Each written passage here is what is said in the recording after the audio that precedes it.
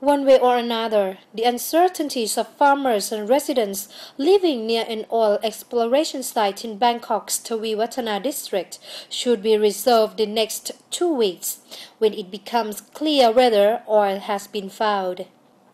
Most are now living with anxiety about their future and fears of possible environmental problems caused by oil contamination of local soil and water supplies. The site known as Petroleum Exploration Project Location TW1X. The site is located on 7 Rai on Puttamonthon 2 Road in Taweewattana district. British firm Mitra Energy Limited was granted a concession to explore for oil in the area the company began drilling a hole 16 inches or 40 centimeters wide and 2.5 kilometers deep on March the 9th. It was expected to take about 20 days to determine if there is a viable source of oil in the area. The Office of Natural Resources and Environmental Policy and Planning's experts have approved the company's Environmental Impact Assessment or EIA report. The panel also asked the company to strictly control the environmental impacts on people living around the site, such as air pollution, noise pollution, and contamination of the ground and water resources by leaking oil. Meanwhile, Mineral Fuels Department Director General Songpop Polajan said the company will give the land back to the department and seal the drilling hole with cement if there are no oil resources found. He admitted that there was only a 10% chance of finding oil.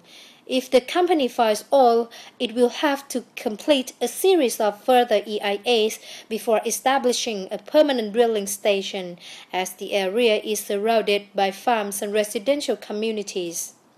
A 65-year-old Pairat Lauha Rungpisit, whose farm is located behind the site, said he was worried that the water in the canal that has supplied his 14 Rai Morning Glory farm for 30 years will be contaminated by oil from the exploration site. Pairat said company representatives did not tell him about the possible environmental impact on his Morning Glory farm. He earns about 70,000 baht every 25 days selling Morning Glory to local markets. He said he was happy that Thailand has its own oil resources, but he will absolutely file a complaint to ask for a compensation if there is any environmental impact on his farm. So far, he said, no noise pollution or environmental contamination has occurred during the oil exploration. An 80-year-old retired official, Ponchit Diyun, whose house is located 400 meters from the site, said he was not affected very much by the noise pollution caused by the round-the-clock drilling. He said no representatives from the company had discussed with him the possible impacts on local residents.